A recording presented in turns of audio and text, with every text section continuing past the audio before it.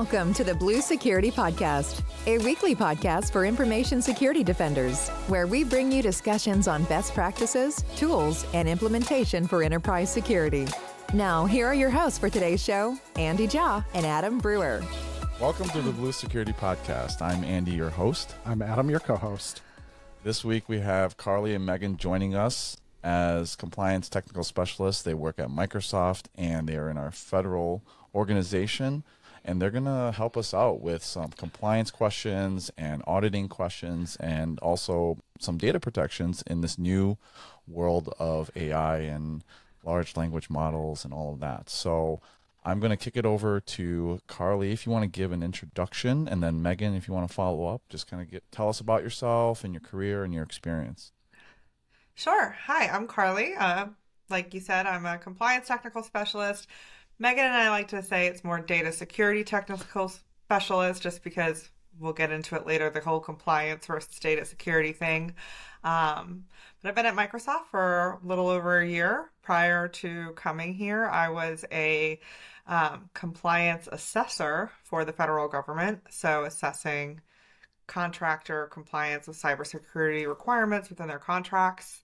Um, and prior to that, I worked in that same agency's IT department doing RMF and um, preparing for different types of audits that they had. So happy to be here and talk this subject. Megan? Yeah, I'm Megan Maley. I am, uh, as Carley said, a compliance technical specialist. Uh, I have been doing compliance type work, cybersecurity type work for the Department of Defense and a little bit in the Intel community for about 10 years. Before joining Microsoft, I've been with Microsoft for about two and a half years, so just under 13 years all in doing um, cybersecurity, both from the system perspective as well as from the program uh, cybersecurity perspective. So happy to be here. Welcome. Awesome. So you mentioned, Carley, that compliance, when we say that word, that might have a different meaning to a lot of folks in the cybersecurity industry because most people immediately think different frameworks like mm-hmm. ISO 27001 or CMMC and things that you have to comply with in these audits. But at Microsoft, Compliance TS has a different meaning. So, can you give us an idea of what is all in on, say, your daily job and what you are responsible for? Yeah, sure. So, um, like you said, compliance at Microsoft or the compliance TS definition, it covers more than just the compliance frameworks. That's a piece of it. Um, and it's really a smaller portion of like the, you know, tool set um, that we cover is Microsoft Purview um, which is why I was saying it's more of like a data security technical specialist. And I think even at Microsoft, we're moving away from that compliance term and more towards data security, just because Purview covers compliance from a like self um, assessment standpoint, but also covers things like information protection, e discovery um, data loss prevention, insider risk management, communications compliance, which really kind of compliance, if you think about it, is just how do you implement different or policies. So that's kind of the difference between, you know, the frameworks are those regulations, like you said, the ISOs, you have CMMC, you have, you know, C, uh, CSSPs and the DoD when it comes to your SOC um, or your cyber operations centers. And so there's tons of different frameworks out there. Or like what what i used to do in the past is you know your system um, framework which is that risk management framework and how do you implement those different regulations or security tools. Awesome. Both of you guys have a lot of experience in the compliance world and auditing and I think most organizations who fall under some sort of compliance framework usually know that they're in a framework and they have some sort of audit process going, but sometimes there's an M&A or something like that that all of a sudden now you fall under a specific framework and um, maybe you you start a, a retail business and you you start processing credit cards and you fall under PCI or you acquire a healthcare company or something like that um, or you get a government contract and now you fall under different framework. Like how is the best way, and either one, you know, can jump in here, but what is the best way to really start understanding the framework once you are, um, once you fall under that specific framework, how do you start preparing for an audit? And um, yeah, what are the, some of the best practices? So I can take this one. There's several ways to go about it. Normally, organizations have a pretty good idea of the assessment methodology that they're going to be assessed against. In some cases, it can be an entirely new situation. And my recommendation in those cases is always going to be to lean into a partner that has experience in that assessment methodology. If it's your first time undergoing, like I only deal with DoD customers, right? So if it's their first time undergoing an assessment, it's very intelligent to bring in a partner someone who has experience in the perhaps security ecosystems that you're working with that can uh, help you leverage or turn on the features that are going to help you meet compliance especially for the first time because you know anytime we're implementing security measures it's going to be uh, have a configuration management impact it has to be recorded. So there's a, a lot to making changes to your environment um, for a lot of DoD folks, uh, it's they have been their systems have been operational for longer than the current assessment framework. Great example of that would be when we made the move from DIACAP to RMF within the DoD. Uh, DIACAP was a series of between 100 and 106 security controls that were very loose in nature. They had a very uh, broad uh, range of interpretation because they weren't like ultra specific. And then when we made the transition into RMF, all of a sudden we got very granular. And Andy, we were talking before the show about how, you know, there can be a very um, expansive room for interpretation of a particular control. You know, when they say MFA, like what does that mean? Does that mean at the network level? Does that mean at the application level? Um, and so there's even still in RMF, a lot of room for interpretation. And so I think, you know, the best thing to do is to be working with the vendors that are providing the security products that you have in play today. Uh, to make the most of your current security investments. In the case of something like Microsoft, where we offer the first party GRC tools in platform, obviously, you know, you can reach back to Microsoft and learn how to make the most of that first party investment, whether that be through Microsoft Defender for Cloud.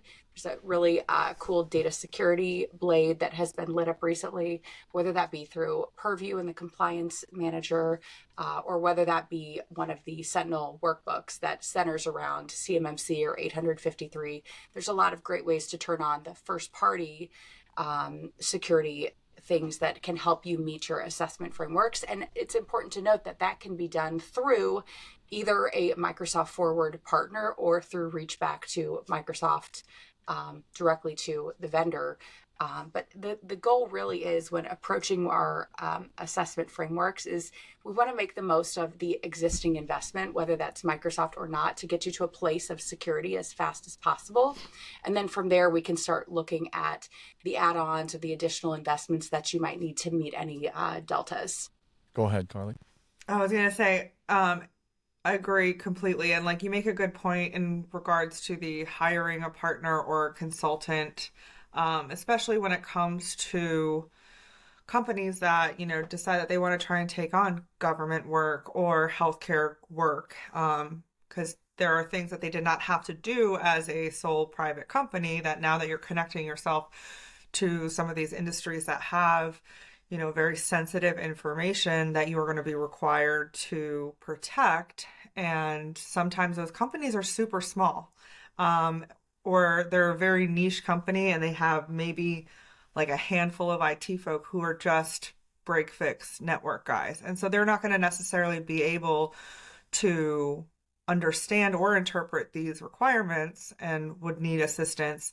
Um, but also, like as a C suite, realize that you this is something outside of your grasp and being able to bring in a professional to be able to help you. I mean, there are a few companies that I remember that we assessed that that was the exact scenario is that you know from a investment standpoint paying for cyber can be expensive but i like to look at it like insurance like cybersecurity paying for it is going to be cheaper than the ransom or the penalties that you might have to pay if information is leaked and you are the source of that leak, especially when it comes to like export controlled information. There are very, very heavy fines for that. And so this is an a vulnerable company, you're going to lose your business. So, um, looking for help is where like the easiest answer if you don't know what to do, if you don't know how to understand some of the different frameworks. Because there's, I mean, like Megan was mentioning with like RMF and that switch, like there's hundreds of controls that go into that. And so, and it can be tailored, but how do you know how to tailor? Um, so that's where professionals can come in to assist. Yeah. So, like Megan, you talked about interpreting different controls. Can you deviate from controls or maybe document a reasoning for maybe not complying with a control and still pass an audit. One thing that comes to mind is like password rotation. There's a lot of frameworks out there that require you to say change your password within 90 days or change your password every 180 days or even shorter, really. And I know the federal government, because I actually had access to a federal system up until recently where I just said I don't need it anymore, but they were changing their password every 60 days up until recently is there a way to say, well, NIST no longer recommends password rotation. Here's our password plan, and I'm going to document it for you. And this is the whole, you know, um, documentation of how we handle passwords and when they're compromised and um, when we would rotate them. Is there a way to do that and still pass, or do you have to really stick to that specific 90 day mark or whatever it is? Sure. So it's all about your organization's appetite for risk, and the risk is going to correlate directly to the type of information that you're processing and storing. There are two places that there uh, is kind of a, a little room for uh, interpretation when it comes to um, deviating from the control. One is your assessor, uh, and Carley knows this well with her experience as an assessor for the DIBCAC um, you have to be able to articulate why you've deviated from that control and how what you're doing instead is either equivalent to or more secure than the body of the control uh, requirement. And then, second, your approving body over whoever is making that authorization decision. In the DoD, it's going to be your authorizing official. Um, in other like commercial entities, uh, whoever, whatever organization is approving your control set, uh, and Carley can provide a lot more depth on the CMMC side. Um, but those are kind of the two places. So it's really up to the organization to articulate uh, why what they're doing that has deviated from the control is equally as secure or more secure, and how well they can articulate that up to their uh, security control um, official that's making the recommendation to the authorizing official. And I mean, so I will counter that with while the DoD has authorizing officials and they can have that risk acceptance, unfortunately, government contractors currently do not really have that capability. Um, now, there are avenues for getting risk mitigation approved. Um, but it's like straight up to the DoD CIO office. Um, in my time um, doing these assessments, I think I only had a couple companies that did send up like a memo for it's for making that control what would be considered like not applicable or like accepted based on the mitigations. Um, and I did not see any get approved. Um, so hopefully they're with like CMMC 2.0 and the rulemaking that's coming down like real soon. Hopefully there is more guidance on things like that. I mean, there have been guidances in regards to like if you don't have like a requirement implemented, you can have a plan of action and milestone, but there are restrictions to which controls um, and requirements can be on that plan of action or how many. Um, because I think when it comes to CMMC, where it can get muddy is that it's like it's a pass or fail. Like this, um, like there is a score attached to it, but it's really kind of a pass or fail. And the fail comes into play if you if cannot demonstrate that you are securing data as per your contract clause. So while it uses a NIST set of requirements, I'm speaking more towards the 800 171, NIST 800 171 versus CMMC, but um, we like we would assess against the NIST 800 171, but the result of that is are they compliant with that DFARS contract clause? Um, and so it's there is some I want to say like level of assessor interpretation of there are certain things that if they're not doing those that they're then not going to be compliant. Like if you're not doing anything in the incident response set of requirements, then are you truly able to recognize when something has occurred in order to then report it, which is a requirement in the clause, reporting it is not a requirement in the NIST, but it's a requirement of the clause. But if you don't know what's going on your on your network, then you can't report anything. And so that would then make you non-compliant with the contract clause. So that's where I say it gets a little bit muddy. It's also very like I, I want I don't want to say like hypocritical, but it's a very kind of catch 22 double-edged sword of DoD has the ability to um, accept risk of, you know, only having MFA for their privileged users and not MFA for their regular users, but a contractor can't accept the same risk or put in mitigations for the for the same requirement and pass that requirement. So CMMC is also a lot newer rulemaking mm-hmm. process, right? So I feel like, I mean, and this is just me speculating, but I feel like as that process kind of reaches more of a place of maturity and there is some feedback from our DIB customers that that process will likely evolve uh, as people get to know it and work through the process. 100%. And I think that, like, even from the beginning, before CMMC was starting to get talked about, while we were only just starting to assess the 800 171, um, these types of conversations were being had on the government side in order to is there a process? Where can we like could there be allegiance or like alleviations mitigations? What would that even look like?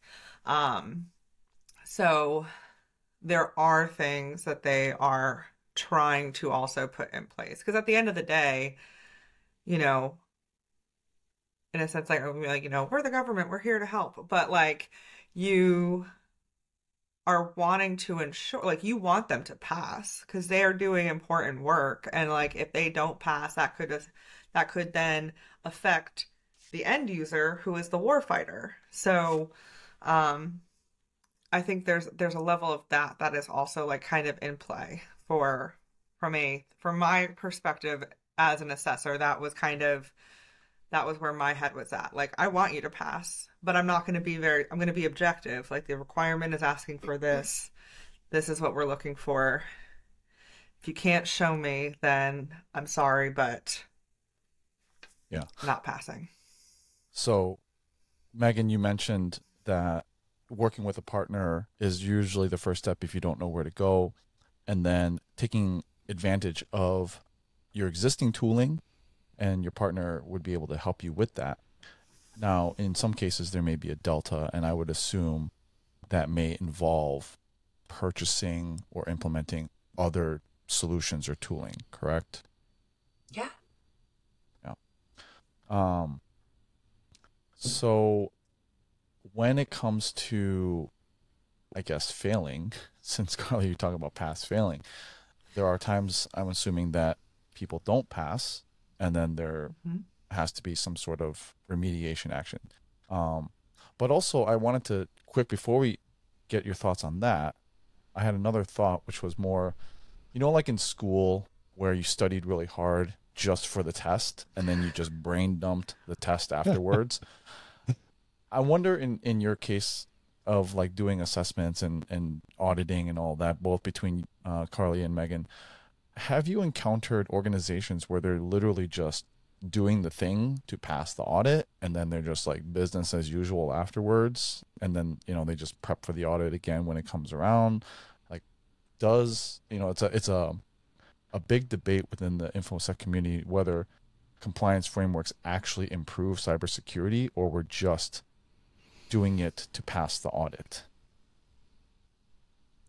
I know that's yeah. a loaded question.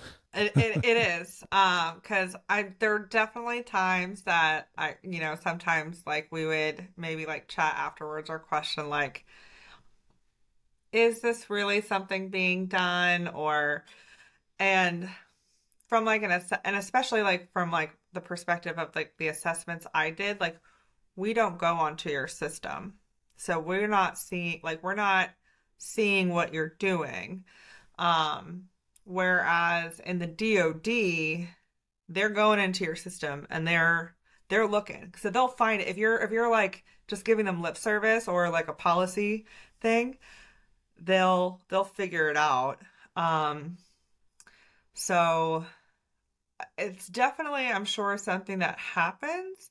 But then I think the problem can then there be if you are breached or if you have data exposed or something happens, then they're going to come in and question, and then you're like, you can be in a heap load of like trouble from that perspective. Um, but I know for specific compliance frameworks or audits or assessments, like they want to see like vulnerabilities, for example. Like when you do a vulnerability scan, it shows you here are all my criticals, highs, mediums, informationals. They want to see what that looks like over a period of time. So if they don't see, like, and there were a couple times where I'm like, this critical has been here this whole time. What have you done about it? oh, we didn't do anything. Well, they might like from this the the audits that I from the assessments that I did, they might pass the requirement, but I am making a note that they're not remediating, or they might pass the requirement that they're scanning and looking, but they're not going to pass the requirement that talks about remediation and getting rid of these vulnerabilities. Um, and I mean, Megan, I'll let you. I mean, I was going to answer kind of like the previous question, but um, I'll let you. I know you have probably thoughts on that as well. I mean, there's no simple answer. Have I seen systems do like, here's a brain dump, like, let's just run up to the assessment and then go back to business as usual? Absolutely. Um, we try to like generally within the DoD, we're moving away from that, right? The strategic mm-hmm. move to a continuous monitoring ATO was specifically to move away from checkbox security, whereby we just get ready for our assessment and check the box and kind of move on to the next, right? We want to leverage uh, continuous monitoring tools in the environment as much as possible you know, I keep coming back to Microsoft Purview, but Compliance Manager is uh, one of the solutions there whereby the security posture of the system is monitored over time. So there's really not a run up to a security assessment. It's just your real time snapshot. Um, and an assessor or an auditor, in theory, should be able to come into the environment at any given point and pull the implementation details. Uh, now, some things might change, especially where you're looking at like the policies and procedures. That's, I would say, there's going to be the most deviation from what is in policy and what's in practice. But for the most part, uh, with continuous monitoring ATO, we want to be just really grabbing a snapshot, and that snapshot could come from anywhere in time. Carley alluded to vulnerability assessments. That's a great example, and that's going to have you. That's going to give you a real taste of policy versus practice for the environment over time because they're telling you that they're doing once monthly remediations based on you know it's patch tuesday we test our patches and then by the next tuesday we have things deployed or maybe by the following weekend is our deployment window. But then you see a higher critical or even a moderate vulnerability that trails over a period of time. And you're that right there is telling me that what you're preaching and what you have in policy is not what you're practicing because that vulnerability trail is telling a different story. Um, you know, another thing that you look for is there's a lot of shoulder surfing and assessments that goes on. You're telling me that there's MFA uh, both at the enclave level and again at the application level, and that it's uh, tested against the uh, certificate revocation list that DISA publishes. All right, I'd love to see you log in and let's just see. Um, I have this CAC over here that's for a different, you know, this is like a PIV that I use in federal. Can we use that to log in and see if it um, pulls against the CRL, right? So there's uh, ways that assessors can do it. In DoD, it is very real. You're either on the system in a read only capacity or you're doing a lot of um, shoulder surfing. So I would say yes. And in particular, I want to point out the Army actually recently made a statement publicly that they were moving away from checkbox security um, and making a hard push toward a secure um, all time posture, right? So the um, RMF framework is a wonderful framework, but how can we implement this in practice so that this is like part of our daily operating procedure and it's not just policy that this is actually something that is in practice every day that we can grab a real-time snapshot from uh, at any given point and i have to say like I know that just because of the technology investments that have been made across the DoD and in particular in the Army, that they are using first party tools to grab those best practice and what we would recommend. That's some great advice for really any company is to just have that continuous monitoring going.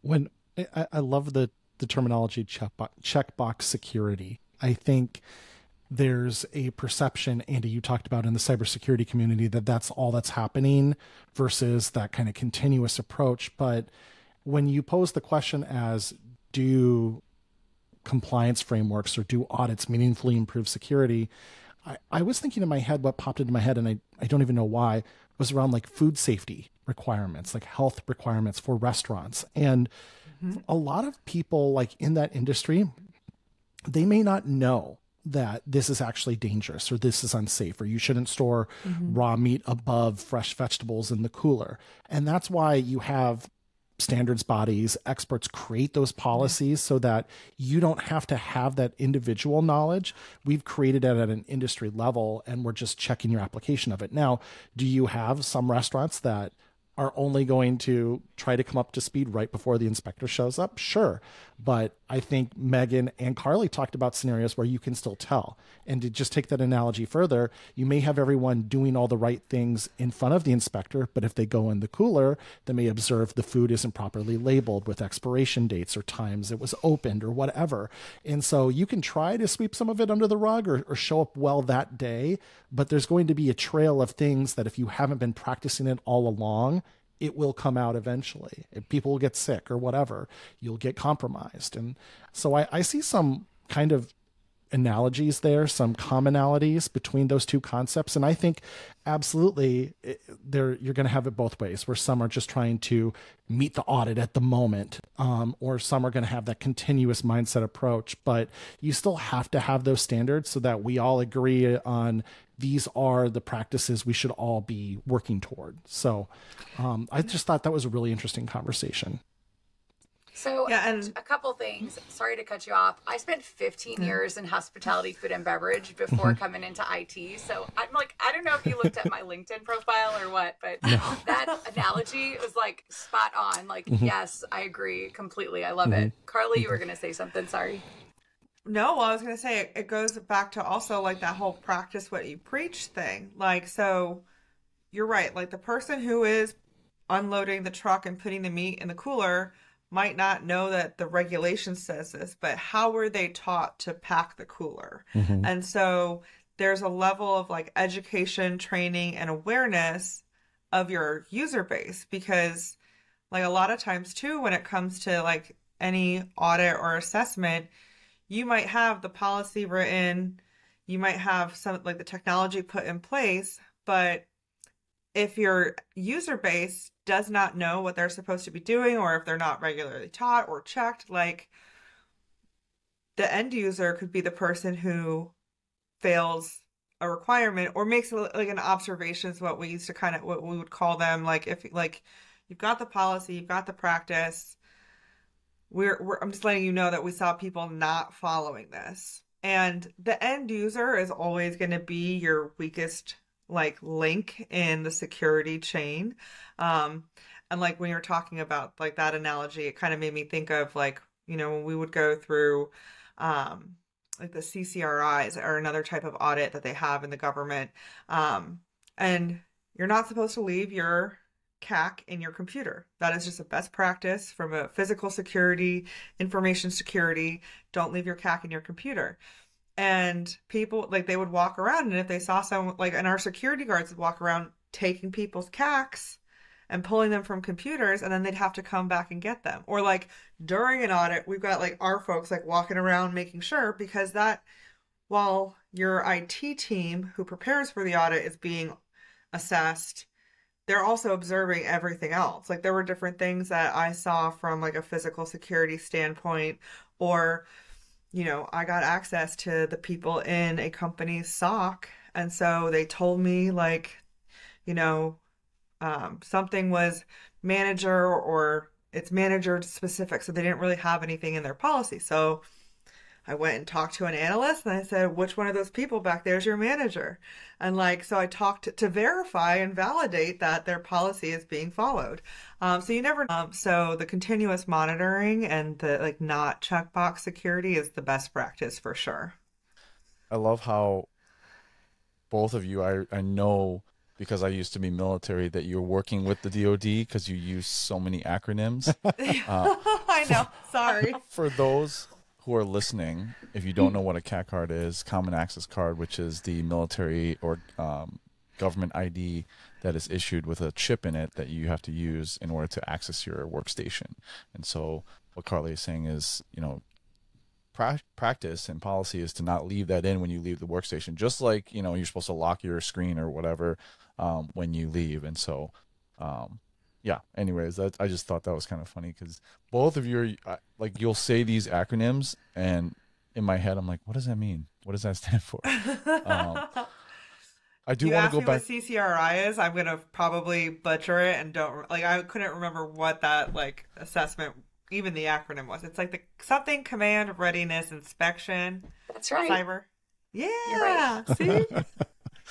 Didn't brain dump it for any of our assessors out there and I just want to add really quickly that when we talk about like a run up to the assessment and a brain dump, like there's a pre assessment or a self assessment process that goes down. So organizations going through this should never get like quote unquote caught with their pants down. Like you should have yeah. it. I mean, and it's in some cases it's make or break. It's your ability to it's your authority to operate or not. And then if you don't, if you fail in the DoD, they issue something called a DATO, which is a disconnection, meaning that shut her down. Like we don't trust your ability to do this securely. And so it's there's not enough I would say importance or emphasis sometimes placed on the process of GRC, even though it's like checkbox security, but fail that and find out, right? It's that kind of like goes back to that F around, find out. Like fail that and see how thrilled, like see how quickly GRC becomes a priority for your CTO, your CIO, 100%. your CEO very quickly.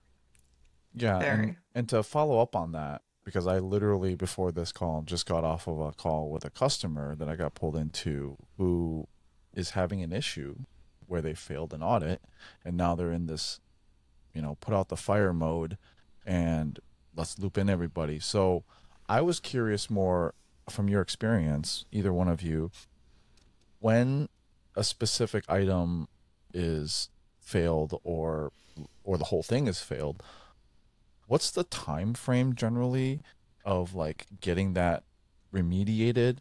And then also if it's short which i don't know how long these these guys had but it seems like it's a very short time. They're like we need to get this done by the end of the month. How well can that really be remediated? Because some of these organizations can be large some of the processes can be cumbersome. You're literally ripping and removing different policies or shoving things in to just pass the audit or pass this control. Like, how much time do you usually get? And then, in your experience, like, how well is it really done when they remediate it? Um, so, I mean, the kind of long and short is assessment audit dependent. They all have their own um, process and timeline for post assessment activities. Um, a lot of times there's something that like assessors will want to see something like 30 days, maybe 60 days. Um, and even if it's something that's going to take a long time, they want to see that you're taking the steps to make those changes.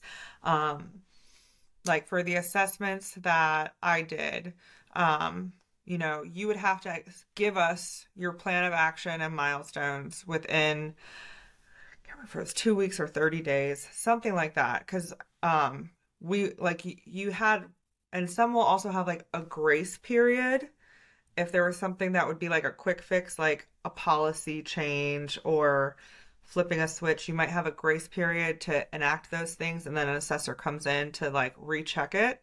Um, but we would, if somebody failed or found were found non-compliant, um, we would require a plan of action and milestone, and then we would assess them. Read because like that assessment cycle was like every three years but we would come back a year later to reassess to see if they did the things that they needed to become compliant with the contract.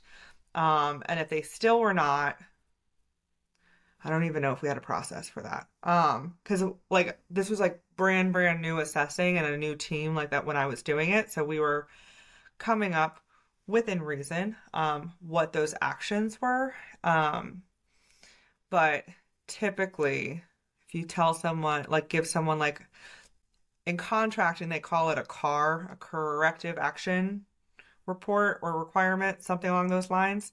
Um, and there are different levels, and depending on the level, like it's putting like Megan was saying, you get like a DATO. This is like they get like a scarlet letter fail on their company name. So any contracts they are trying to negotiate or renegotiate, they could lose. Um, so for that, like we helped, like we met with them kind of regularly to see what their progress was. Um, but not like, and so there's typically that. I mean, Megan, I don't know if you experienced anything different when it came to like ATOs. Yeah, so I take everything back to the quantitative analysis. So when you get your kind of authorization decision, uh, you get a risk score, and that score is dependent upon whether the so it's all based on the vulnerability, or it's not binary in DoD like pass or fail, but you get a score associated. And that score is based on what type of uh, control it is. If it's a technical control, it potentially is going to have a CVSS score, Common Vulnerability Scoring System. Uh, STIGs have a different scoring system, common configuration scoring system that's a NIST standard. They publish the algorithm that's used, and it's dependent upon the uh, basically the different vectors of attack, the uh, pro- li- likelihood or probability of exploitation, um, and then basically what is seen in the wild. So something that has a very high score then uh, it's it's all impact based, right? So I like to use the example of um, you, Andy, served, Carley, you served. I don't know, Adam, if you know a DoD warning banner. So when you land on a DoD website, there has to be, by regulation, a DoD warning banner. Okay, this is a Category One finding or a high severity finding. If you don't have it, that's a Cat One strike against you, but it carries a risk score of zero right? So even if it's because it's mandatory, you got to have it, it's regulation, but it you're not. It doesn't actually present a risk, right? So it's all it's relative. It's based on that. You can have an ATO that has a very like we're very opposed to risk. We don't like it in our system, and I, they see Cat One or they see critical or high finding and they say definitely disconnect but then if you unpack that a little bit you're like okay mm-hmm. but it's it, there's a risk score of zero we actually still got 100% or 100% is highly unlikely, but we're still in the 90s. So we're very secure. It's just this one thing that we need to fix. So definitely will submit a POAM. So, but then, you know, turn that around and you might have a very robust security posture, but there was recently a zero day released that has it's a critical in nature and it has a very high CVSS score that remains. There's really no way to mitigate it. It's a remote exploitable uh, administrative level vulnerability in your environment, and it's very likely that you're going to get maybe a week turnaround to resolve that or a disconnection. So it's very relative to the quantitative analysis of the risk that's in play currently in the environment. So just like with most things in infosec, it depends. I was gonna I was yeah. gonna crack a joke because Carley answered it in a way where she didn't say it depends, but she said in so many words, it depends. And I just loved how diplomatically you put it. And I was taking a mental note that I'm going to go to the transcript and take how you put it because you said something like, well, it's dependent on this, this, and this. And it's like, that's perfect. I'm going to steal that because I hate saying it depends, but my goodness, a lot of things, it depends. It depends. Exactly. and yes. Especially when you get into, I don't want to say more ambiguous type assessments, but there are some where, like, like Megan said, you have cat one findings, but you have a very low risk score. So, I mean, that, you know, that gives it that quantitative thing. But like with CM or with the DFARS assessments, you have a score, but it's kind of ambiguous because you can score like the lowest score is like a negative 231. So like 110, it's not 0 to 110. It goes like super negative. So there's a lot of different dependencies and that's where things can get confusing but when you have something that's in a sense cut and dry what type of category is it what is the risk that's what makes things a little bit easier um, but nobody likes to see those cat one they like to color them red and red's a bad yeah. color we don't want a colorful assessment report we always no. go back to the question of because you don't want to protect a $5 bike with a $10 lock so if the question is like, is this a good lock? Well, I don't know. What kind of bike do you have, right? It's so relative. Right. All right. So let's shift gears a little bit because I do want to talk a little bit about data protection for our listeners because both of you guys Favorite. are also experts in data protection. And what I think on a lot of organizations, CISOs, security teams' minds today is really this AI revolution, large language models like ChatGPT.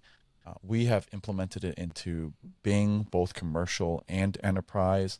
Uh, one of the most long-standing GA products that we have, Pilot, which is great for, you know, putting in and writing your own code.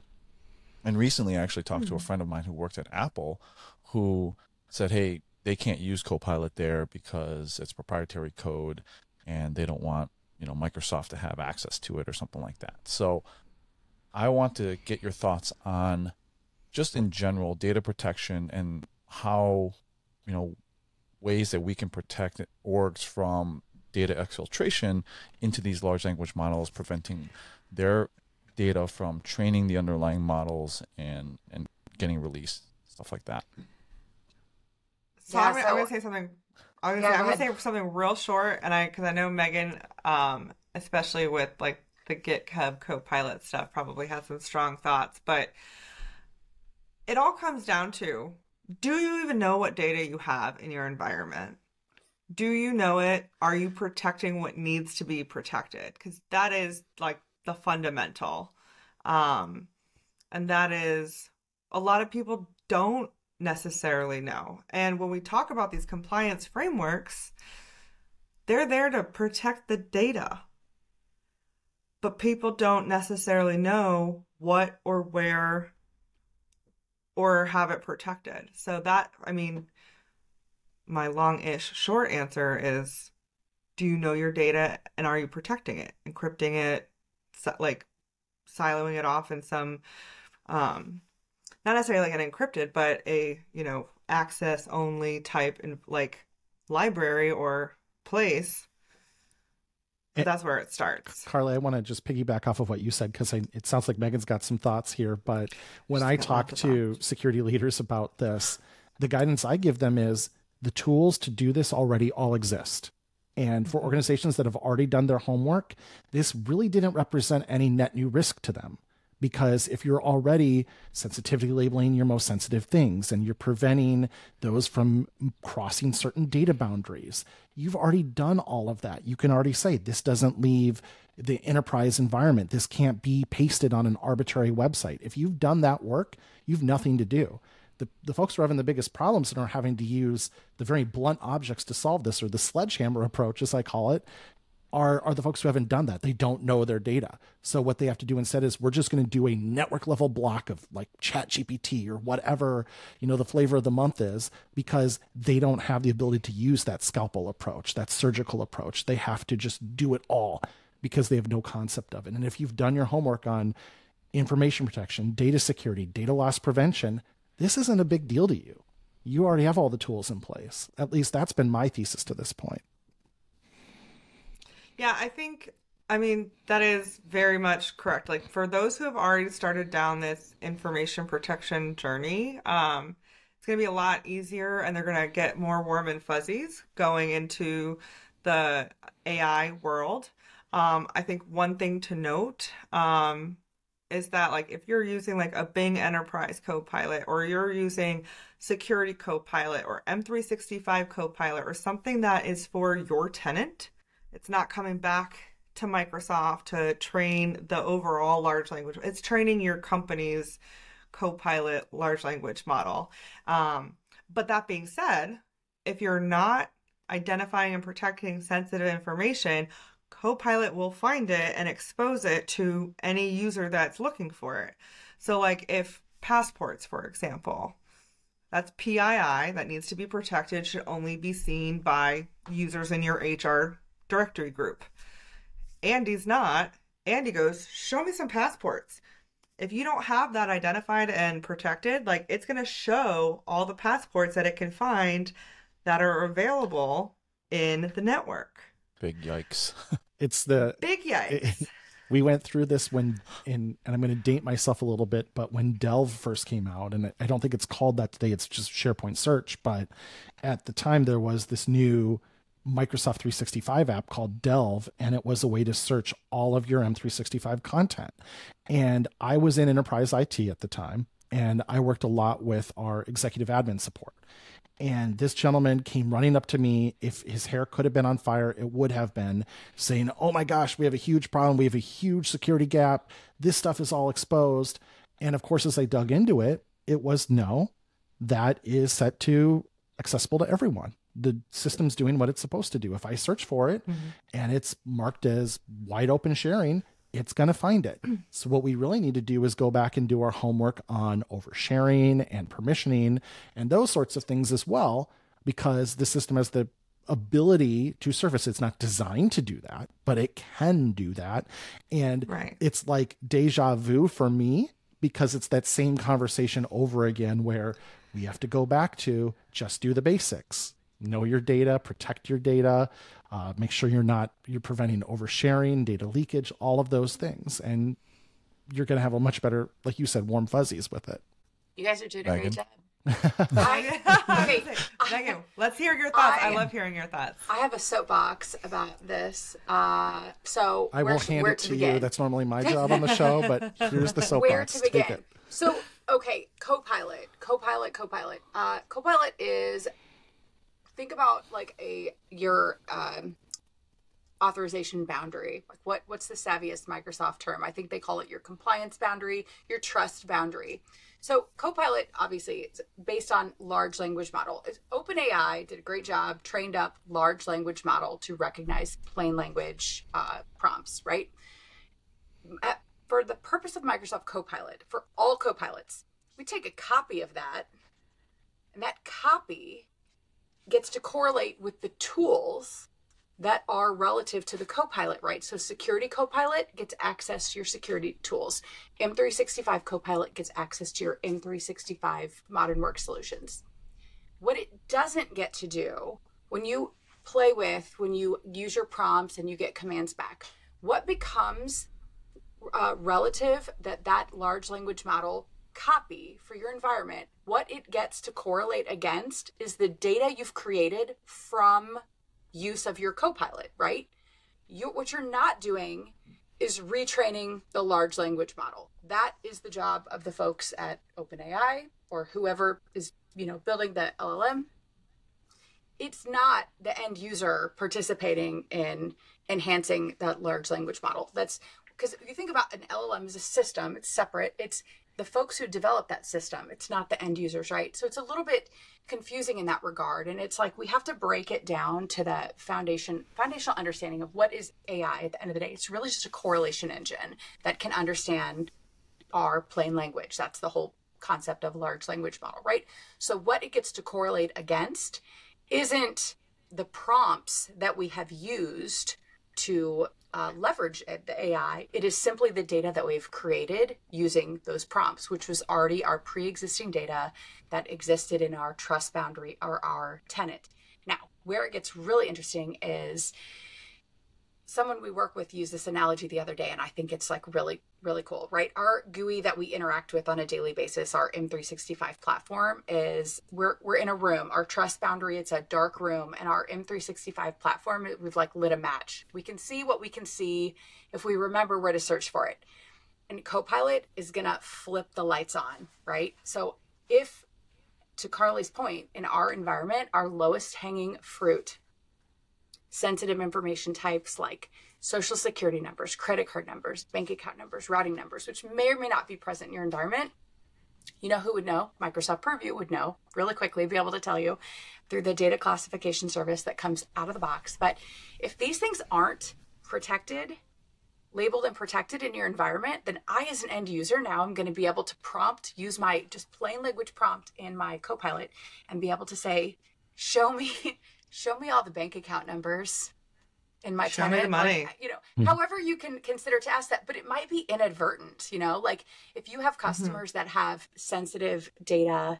Uh, like DFARS, good example. If that happens to be within your tenant, you could put in something that is a completely um, an unintentional, like not malicious prompt whatsoever, and you're bringing back sensitive data all of a sudden that you're like, you might not even realize it's a problem because you don't really even know that that should be protected data that has only like a need to know capacity associated with it, right? So it's if I take that data, that DFARS data, for example, and I start creating PowerPoints from that, then we're expanding, we're extrapolating the presence of that data in the environment unbeknownst to anybody, right? So some things will be very obvious, like, oh, shoot, I don't think I should have access to this. Bank account numbers. I Carley orders some Girl Scout cookies. My daughter's a Girl Scout, and we're selling Girl Scout cookies. And she says, "Here's my uh, credit card number. Just you know, whenever you can get them to me." And that that credit card number then becomes fair game for anyone in the environment. And let's say you're just searching your OneDrive, like, "Oh shoot, like." What kind of credit card numbers do I have, you know, in my environment? And it has the potential to query back for the entire environment. So if we're going to light up Copilot, which I think every organization should, data governance is it's a foundational element. It's required. But what is so awesome is like microsoft had the consideration to put truly the uh, horse before the cart as opposed to vice versa with the out of the box functionality out of microsoft purview. Because when i tell you out of the box i truly mean you log into the Purview dashboard, you go into the data classification service, and there are 314 sensitive information types, which it sounds like you guys have covered on your podcast before. Out of the box, it can light up all PII, PHI, clear text credentials, all the kind of things that are the lowest hanging fruit. those are the easiest things to protect, right? So it's a great, great starting point. I'll get down off my soapbox because I said no. a lot there. Carley, oh. did you have anything to add? Uh, well, no. I mean, so you started touching on it when you talked because I was going to say, like, pretty much every customer that is in Microsoft has access to turn on those sensitive information types in Purview. And the biggest thing is many people don't know. And you can just turn them on just to figure out, like, and start identifying it. You don't even have to put labels or policies attached to that sensitive information type, but you can't even start putting DLP policies for specific things until you turn on those sensitive information types. And it'll just start identifying and telling you where it all is. So that's like step one. And a lot of times, like a lot of cut, like um, conversations that we have with customers, especially as they're starting this journey, um, don't even realize that they already have that. And like, I was sitting in a customer, he's like, "Well, what are we doing?" like, I, he's like, two weeks. I want, I want to start seeing what I got." Mm-hmm. So, um, and that's, I mean, and that's machine learning. That's AI already kind of built into the products that a lot of customers already have. So they're probably already using some versioning of it. I think, you know, like we've, there's the fear mongering of OpenAI and you're, you're training the model. But like Megan said, you're not training the model. You are, if you're training anything, you're training, it's, it's essentially should just be called like, you know, company copilot because Mhm. that's what it is. It's that's it's only touching the company. Now, that being said, if you go to Bing, like not Bing uh, like your company Bing Enterprise, if you're just in normal Bing, entering stuff into there, that's going back to what's that kind of free and open model training stuff. So And one thing I like too, Megan, you talked about not putting the cart before the horse. I love that Copilot for Microsoft 365 not only is aware of sensitivity labels, it can use them. So you mm-hmm. talked about, hey, I can take a Word document and turn it into a PowerPoint. So let's say that Word document is labeled confidential and I have access to it. I should have access to it. And I want to create a PowerPoint based upon that content of it. If I do that with Copilot for Microsoft 365, that resulting output that PowerPoint document, it inherits the same label automatically.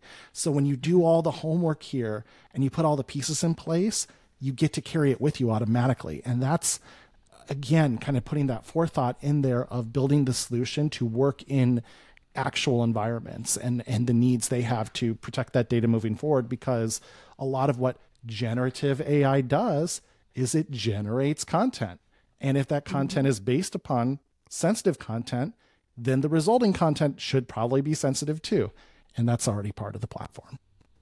Yeah, and I Yeah. want to just like double tap on that really quickly because there's that I think a disconnect.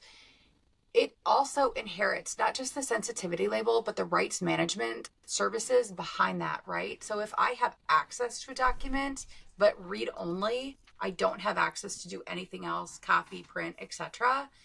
I'm not even going to be able to query that back with Copilot. So it's very insightful in that regard. And that's why the data protection piece, like for our DoD customers in particular, and I know this podcast is broader than that, but like if you're thinking about a Copilot investment, get your house in order now. That's like the most important thing that you can do to be very data aware and have security at the forefront of your AI journey as an organization. We're saying the same thing in enterprise. We're telling them, hey, even if you don't have this yet, get your house in order because when the edict comes down from your board or from your executives or whomever runs the show, you're ready. Yeah, I No, love the exactly. I love that statement. Get your house in order because I was telling a new uh, security specialist that I'm working with on how this stuff really works and getting a data inventory, getting a inventory of your devices. That's the first thing. Like, how do you how do you know what to protect if you um, if you don't have an inventory? And so I use the analogy of our house. Like, why do we have locks on our house? It's to protect the things inside our house. But what if our house was robbed? What is the first thing that you're going to go check generally? Like, what's the most important thing? And is that secure, right? Like, my some of my stuff is in a safe within the house, right? So that's even more segregated. And so, um, getting your house in order, right? Like making sure that you have the locks around the things that are most important to you, and you know, if you have a breach, where is the first thing that you're going to check to see if that was exfiltrated, right? Mm-hmm. No, and I was gonna wanted to, in a sense, triple tap on piggyback from Megan to Adam, now to Andy and to me. But um, you know, the whole cart before the horse. Like Microsoft has built and is developing the co-pilots with security in mind. So as Megan said, like, and as we've talked about, the labels will follow what you generate.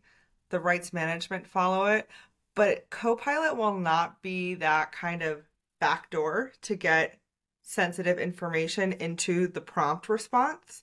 So if there if you are asking and talking to Copilot even if you have the rights like it's not going to put something in there that's not meant to be copied and pasted. It's going to point you to where you can find that information, but it's not going to kind of again give you that loophole to pull something out of Copilot that you can that you wouldn't be able to pull from a Word document or from like a PowerPoint presentation. So those securities are following it. Like as we tell our customers, we are building things and developing and advancing with data security in mind. So trying to keep our house in order so that you can keep your house in order. I want to end on the fact that Carley, Megan, both of you guys also have a podcast, which we're going to record right after this. But definitely check them out because their podcast is a little bit of a different vibe. It's called Cocktails and SOC Tales. And so I just want to thank both of you for your time today it was an amazing conversation. This was probably one of the best. I certainly learned a ton, and I hope that our listeners learned a ton as well. Yeah, thanks for having us. Now let's go have a Yeah. drink. I know. All right.